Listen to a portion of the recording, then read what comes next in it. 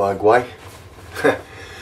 Welcome to part two of my uh, store prep series, preparing to open my online store for the uh, GazzBass line of bass guitars. And in this episode, we'll be going through uh, what I'm doing to prepare to open, getting all the inventory together again, uh, descriptions, all that good stuff. Going to be making little videos for each bass, uh, taking some pictures, stuff like that. Uh, also, I'm going to be showing you what is supplied in the entire kit.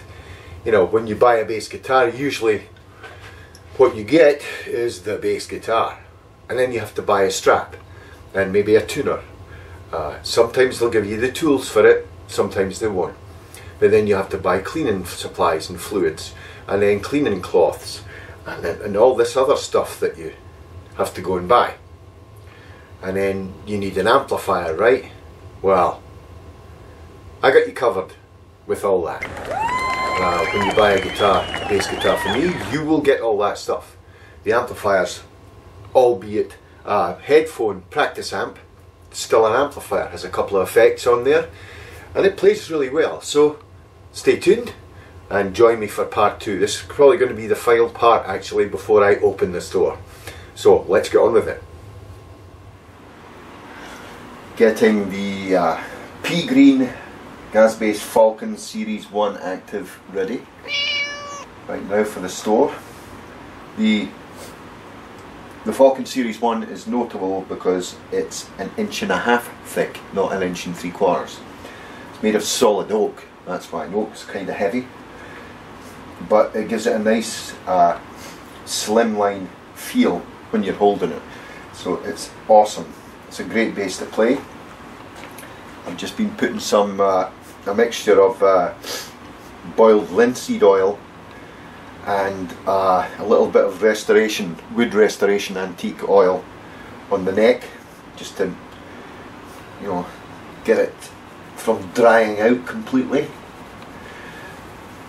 and I leave that for 10 minutes just to soak in and then wipe off the excess and then after a day or so it'll be nice and healthy wood in there.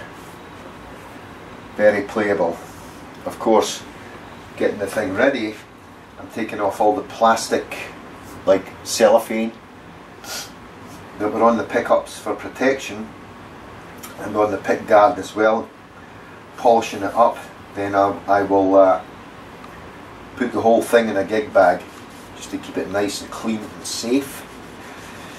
Over it with a nice little handy dandy tool I got from uh, Guitar Centre.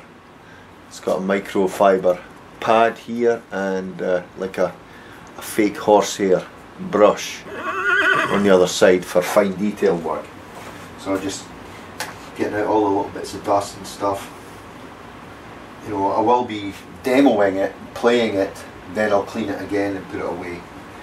But you know, just getting all the little bits and pieces cleaned up. So it's beautiful, nice and presentable. Take some pictures of it, demo it in a video, especially for the store, and then put the bugger up for sale. Of course, this is a prototype base. Um, this was the, the second Falcon that I made. And uh, as such is, is really a prototype. But there's hardly any flaws or faults at all with this design this is basically the end design of the Falcon. Um, the other one that I'm going to be putting up actually I made three Falcons. The, the third Falcon is the end design. It's pretty much production base. And that one will be going up as well. This one will be selling for a little cheaper than the other Falcon I'm going to put up because it was an earlier design, it's not the final design. So I'm going to give a discount on this one, which is awesome. Just make sure the LEDs are working, that's fine. yep, everything okay there. Okay, get it spruced up, get it ready to go out the door, hopefully. Oh, so it's a very busy Saturday the 22nd of August 2020 today. much to my chanagreninin, or whatever the word is. Um, I'm going to be selling my Scorpion because I have the templates right up there. Oh yes I do. And they're all studied. Everything down to the T. This is my prototype Scorpion. It's not going to be a main line. As I said, my main line is Scarab and, oh look, trash can. Uh, Scarab and Falcon. The Scorpion's a one-off right now, but I loved building this base. It's so many challenges in it. So many challenges. Least of which, in fact, most of which was the headstock. And uh, pan down here. Oh, somebody said, oh no, fire. Oh, oh. It's okay, I've got safety switch there. And there's the pea green falcon. Just uh, letting it settle after oiling the neck there. Switch that on, shall we? Oh, there we go, yes. Mm -hmm. Bright, not so bright. Bright, not so bright. So that all works. Sounding good. And if we pan across here, there's the Tomcat. Just about ready to get assembled.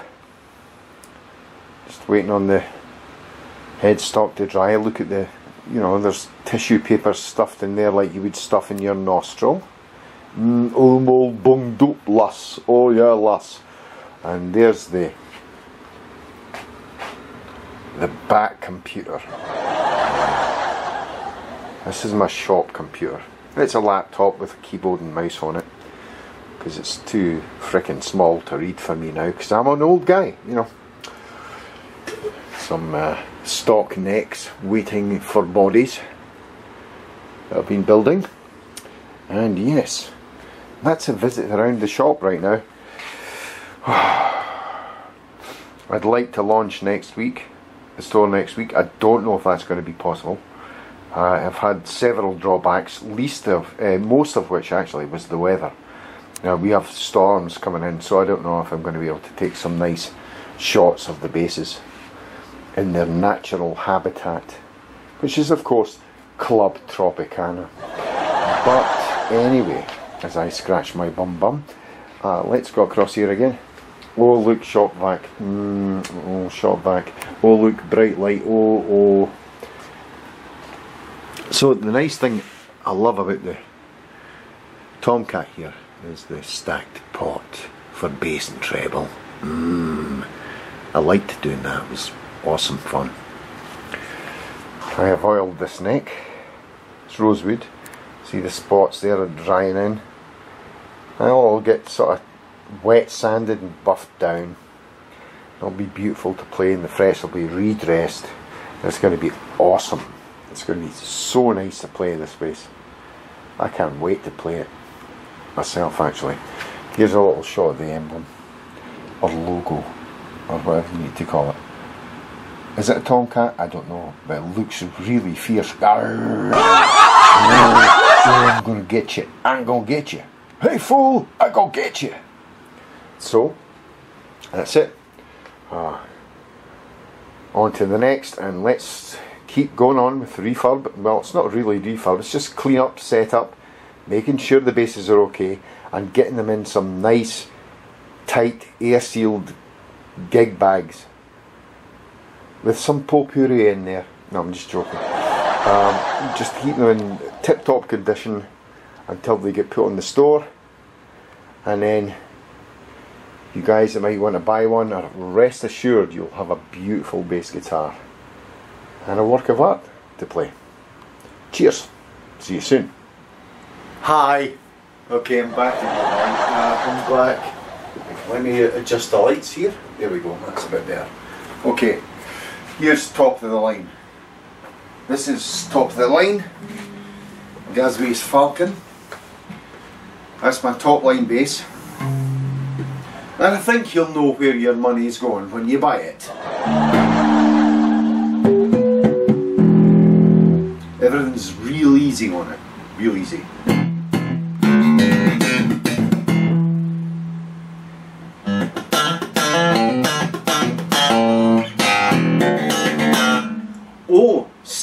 Is it?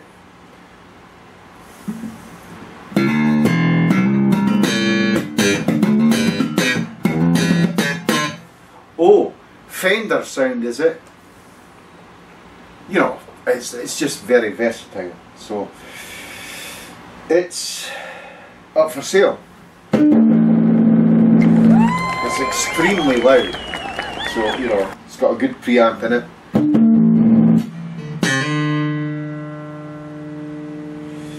I like to play uh, the pickups sort of blended, but you know, it's up to you what you play.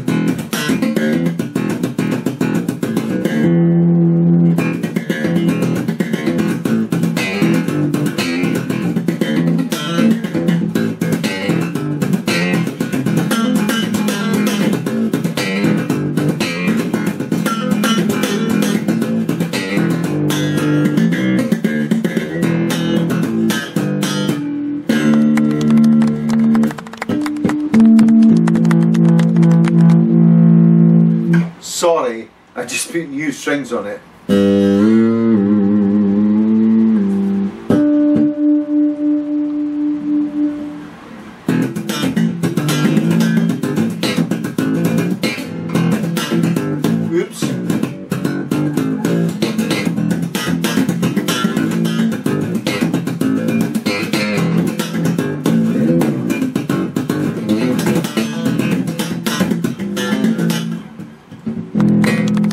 So it's sounding really particularly uh, uh, nasally sexy, I suppose. Got a chunk.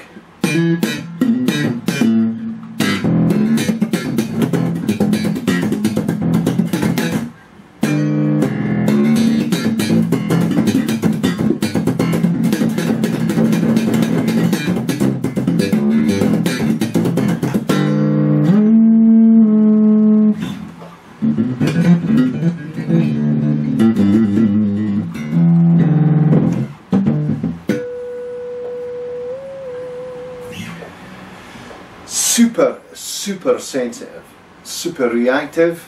Uh, if you're an, an accomplished player, yeah, go for it. If you're a beginner, still go for it. I mean, uh, you're only as good as the tool that you're given. So, the right tool for the right job. Find the bass you want and use it, you know.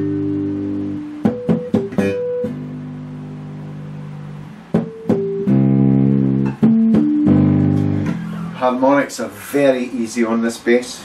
You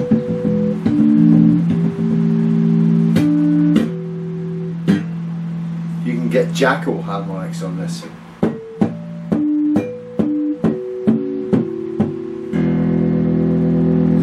See what I mean?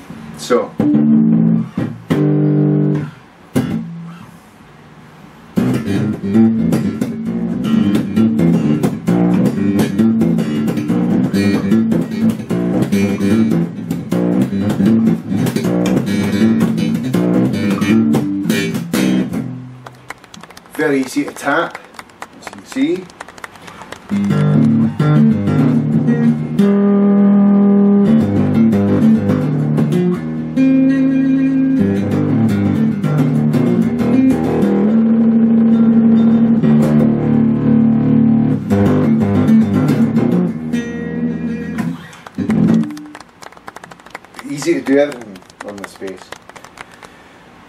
My top line bass and it will be going on the store for a lot of moolah. Actually no, because this is a prototype. This is my first perfect prototype. So it's going to be 25% off. Well, check this out. I got this bass, oh maybe about 15 years ago. It's a Brice six string bass. I did make, uh, I put new electronics in it at the time, but I just never could get used to playing a six string. And I thought it would be an awful shame if I just left it out in the cold, so, you know, why not sell it to somebody who really wants to play a, a nice attractive looking six string bass. But it's been in storage forever and it's not in good health right now. So I'm going to bring it back to life. All the machine heads are loose and crap. They really really need clean so I'm going to give them an ultrasonic bath. Okay go down here. The neck is in superb shape I'm glad to say. The frets need to be redressed slightly. Yeah and the bridge needs to be taken off and cleaned and the control knobs and I need to inspect the electronics and everything. And the whole thing needs to be buffed. So this is a full kind of restoration job I'm going to be doing on this one. And it's going to be going on the store. It's not one of mine. Not at all. It's still a neat looking bass and it sounds really good still. I, I played around with it it's a bit noisy, but you know, that's to be expected for it being lying around forever. Uh, it's active. I took the battery out of it and the battery, 9 volt battery, read 6.8 volts. so, yes indeed. So, this is all going to get stripped down completely, the neck's coming off, everything is coming out and getting cleaned. Okay. This is going to be fantastical, super duper, really interestingly annoying because I, I am trying to get the store open but you know I want to have a good stock for everyone and a six string bass is an option that I think people should have. Okay, so let's get on with it, shall we? Well, holy crap, look at the state of this shit. I mean, really?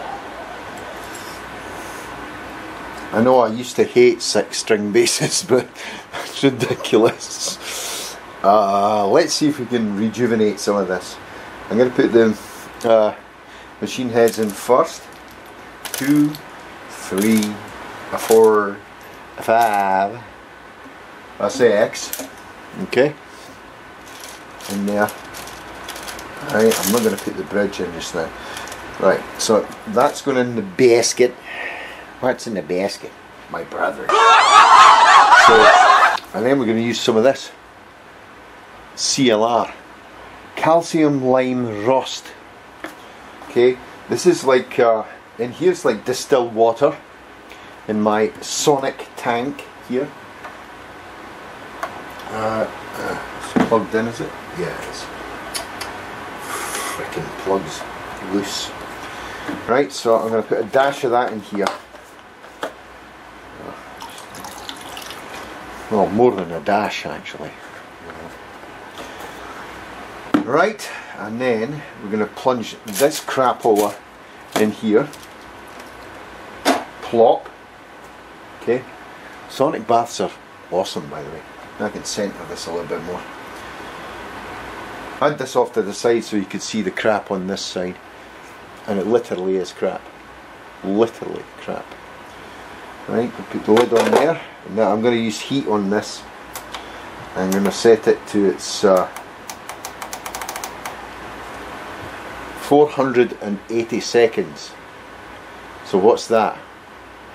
60 seconds in a minute times 8 is 480 so it's 8 minutes this is going to go in for right so 1 2 3 go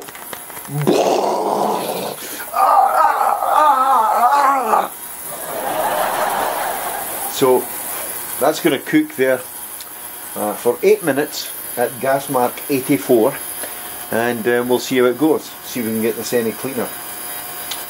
Clean off all the hardware, clean up the body. The body's actually not bad. Actually I'll show you something. So I've, I've never taken this uh, guitar completely apart before. And somebody's been in there. Look, somebody's tried to put a shim in there. And you know what the shim's made of? It's made of tape. Actually, there's a little bit of non-compressible material in there, but they've put a piece of tape over it, which is utterly retarded. Sorry, I mean, it's very silly. So I'm going to strip all that out and use some engineered walnut shims uh, to get that neck angle right again. And I'm going to finish off the pocket here a little bit because, you know, it's this is made of basswood and uh, this needs sealed. I don't want any moisture getting in here. Maybe that's part of the problem, you know. No moisture getting in here. I'll seal all this off with sand and sealer and a bit of, uh, nice drill work. Uh, and uh, maybe some grain filler as well. And uh, we'll get this going. And now it's just time to wait. And I'll go do some of the other stuff I'm meant to be doing to get this fricking store open in time. Okay. Awesome. Okay, so what's this then? Might you ask? You might ask, but I'm not telling. No, uh, uh, this has been ultrasonically cleaned and brassoed. This one has not. Can you tell the difference? Isn't that fantastic? Comes up brand new. What you do is you get a toothbrush and you just work that brasso. Work that brasso, boy. Work that brasso. Okay. You just keep going, keep going, keep going. Get it nice and polished, you know. And then just take a, a nice lint-free rag and you, ooh, you buff it up. You buff it up. And see, see what happens. Brand new tuning pegs. Isn't that absolutely fine, dabby tostic? So that's what we'll do now. It's a laborious job, but it's absolutely worth it when you see the end result. I mean, look at that. That's really, that has come fantastically well. So it's all going to look kind of new, isn't it? Mm, yes. And I'm going to make sure all it's mechanically sound, and we'll go from there. Looking good so far. Now I'm just I'm going to put the uh, bridge now in the ultrasonic bath and see what's what, shall we? Yes. Hey. so this is looking really good now. Um, as you can hear, it's Physics Sunday for me. Catch up with all my physics podcasts on a Sunday while I'm uh, doing stuff like this. What a life! Uh, life's good. Life's good. So you can see, look, this is all polished up and beautiful now. I have the ultrasonic bath on right now. Uh, you can see it probably see it going there. Yeah, there it is. It's going. There's various sundries in there. But this stuff is looking great. It looks brand new. Brand new. Absolutely beautiful. I'm very happy with the way it uh, ended up. Sorry, Professor Carroll, I'm going to have to pause you right now. So, uh, watching Sean Carroll, of course, his tremendous uh, podcasts he's doing for absolutely no money at all. Well, he's monetizing them through YouTube, but I get to listen to all this stuff, and it's brilliant. And uh, these just look absolutely new. I'm very happy with it. And this six string is going to look fantastic and it's going to play fantastic as well. I'm kind of concerned that a six string bass only has four anchor screws in it though. But we shall see. We'll see what happens there. Looking good. Looking good. So, part of getting the store ready is to make sure that all the inventory is in tip-top condition. Uh, although this bass has never been played before except for by me uh, for a year and a half it's still a year and a half old base and it's still being played so therefore it's used okay it's a used base. uh, I'm going to try and get it into mint condition it's almost there and what I'm going to do is I've created myself a little work order for the Scarab series serial number 0002 so it's the first production prototype of the Scarab. I'm going to check the electronics check the neck probably repolish it. I'm going to remove all the hardware and do a nice ultrasonic clean on them and buff them up. I'm going to this the headstock that I have here is an old style logo headstock. I'm probably going to remove the uh, the water transfers on there and do laser engraving on it. I'm going to put a new cavity cover on there because this was an experimental cavity cover I was working on. Of course I'm going to put new strings on it. I'm probably going to use See, I use very light gauge strings that most people don't use. So I'm going to put slightly heavier gauge strings on there for selling. Uh, I'm going to sort of give the whole thing a once over clean wise. And then the nut on the neck, I'm going to use a deluxe brass nut instead of the uh, the hard plastic or bone nut. I like brass nuts. No pun intended. Well, yes, pun intended, of course. So uh, let's get to it. Let's get uh, getting this base in its brand spanking condition for the store. Cool. Okay, next up is my line of P bases. Uh, I'm going to be uh, selling two of them initially on the store uh, it's the GazzBass PB1-S bass guitar. Um, custom laser engraved logos. This is serial number uh, 0002 of the P bass line. Uh, 3, sorry. This is 3. I'm selling them plain white pick guards, but you can actually get a choice of colours. I'm hoping to offer a choice of colours for the pick guards. And right now what I'm doing is I'm just finishing and cleaning up the neck. I built this one about six months ago uh, and put it into storage in a humidity controlled room. Uh, but right now, um, you know, cleaning up the neck and I'm going over it with some feed-in wax, beeswax, and let that absorb into this, uh, to the neck, which is Brazilian rosewood, which is there's no um, uh, environmental issues as yet with Brazilian rosewood. So that's what this neck is finished in. All the other rosewoods of the world, well, there's uh, uh, actually I think there's a ban on export of these woods because they're endangered. The rosewood trees are, are endangered species, so we need to do our best to protect these resources, so that's what we do. Switch to other materials, which are more than suitable for uh, luthiery. And of course, this is the uh, a standard P-bass shape. The body is made of basswood. The neck is maple, and I think, and, and uh, yes, it's maple, and the fingerboard is Brazilian rosewood, as I say. It's a standard 20 fret P bass, all within uh, Mr. Fender's specs, although it's not an exact copy. Um, there's uh, the usual electronics on a P bass, volume tone, and the output jack and the split P pickup here. As I say, it will come standard with a white pick guard.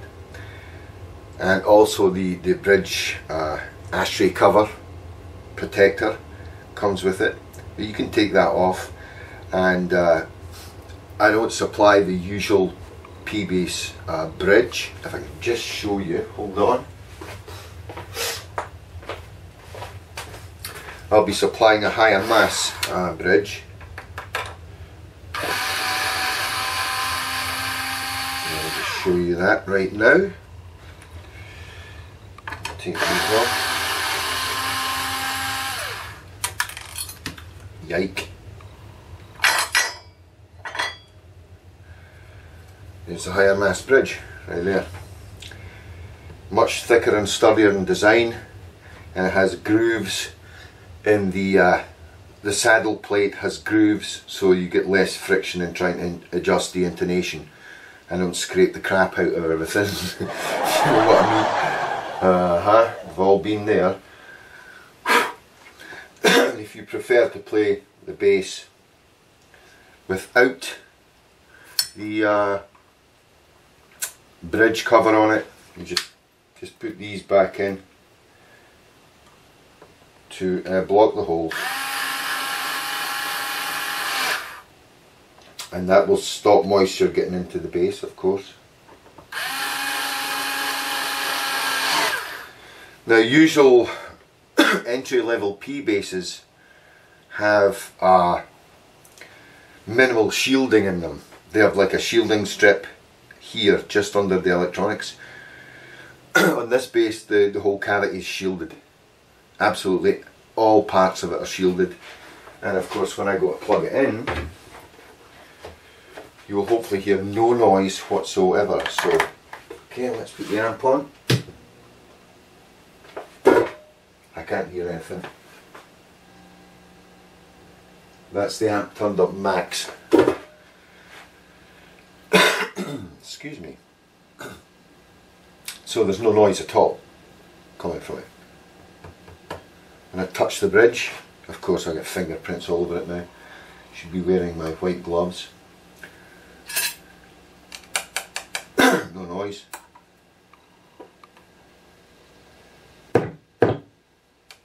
Just to prove that the amp is actually on I got no noise at all. None. So everything's working good there. And back to finishing this one off. Just to keep it uh, in tip-top condition for going on to the store.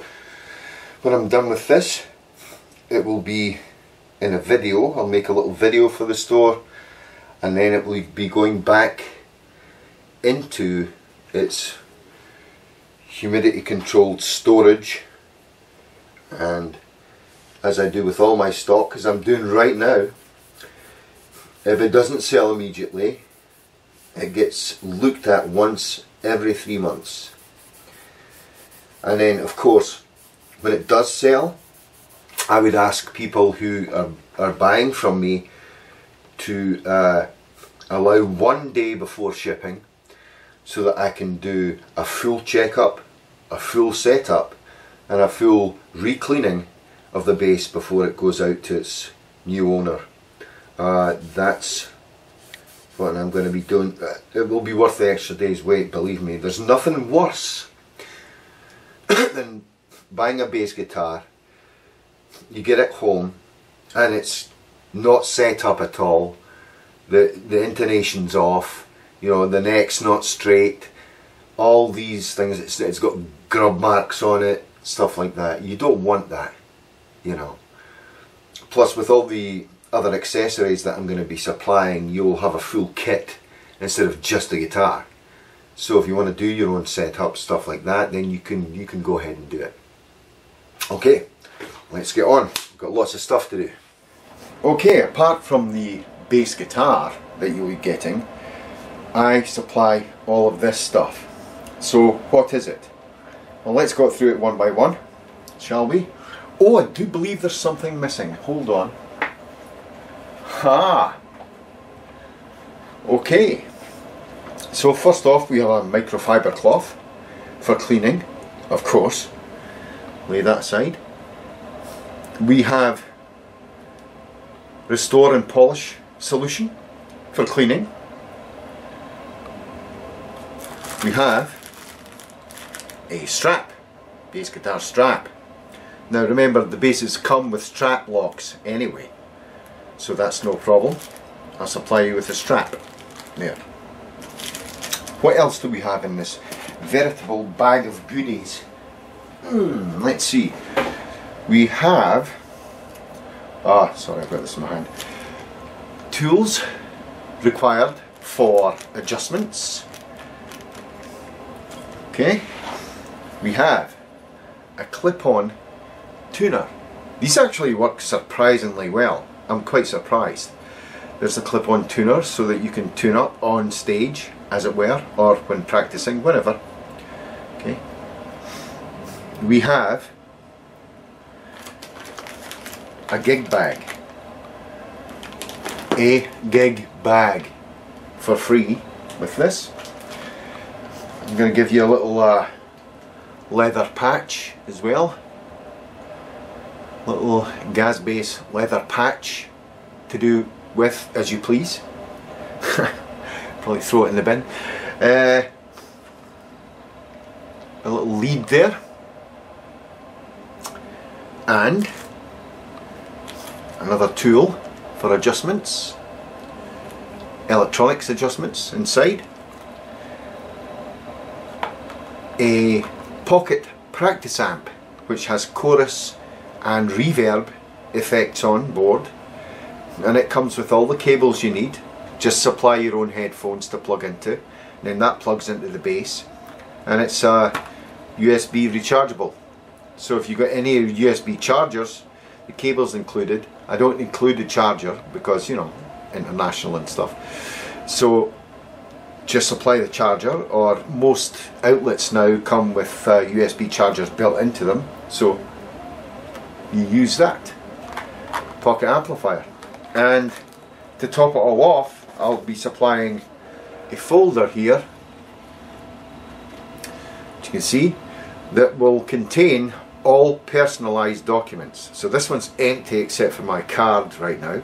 But in here you see in here will be instructions on how to set up your bass care and maintenance circuit diagrams and just general tips on how to look after the damn thing. So that's the full kit that you'll get. You get all this and no bass. No, I'm just joking. I'm just joking. You'll absolutely get the bass and you'll get all this stuff with it free.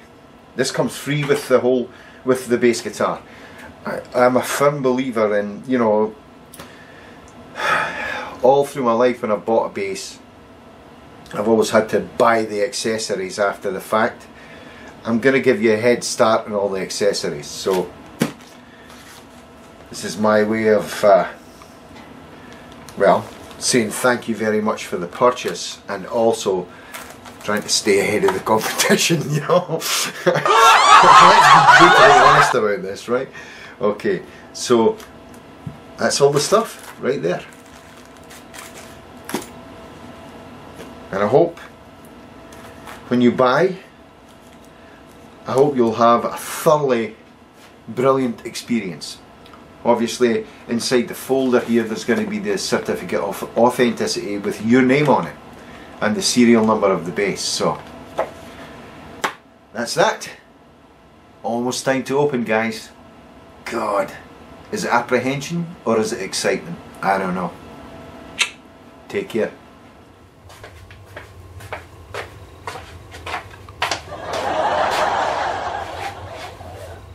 Hi. Uh, thanks for joining me uh, in part two, the final part probably of this uh, store prep special edition series. And uh, hopefully in a week's time, my store will be open for business. Uh, I do have a day job, so I will respond to everything as fast as I can. Um, I think I said in the video that, uh, you know, if anyone buys from me, they are to wait a day before shipping because what I do is I take the inventory out, I do a full setup and clean of the bass before I ship it to make sure everything is hunky dory. Okay, so that you know, depending on volume of orders, stuff like that will take about a day before I ship. So when you order, the day you order, the bass might go out the next day, but will definitely go out the day after. After I've had my mitts on it, with my, well, my covered mitts on it and cleaning it up. Anyway, take care. I'll see you next week. Uh, hopefully with a little grand opening video. And uh, take care. See you soon. Bye bye. Oh, stay safe as well, right? Uh, bye bye.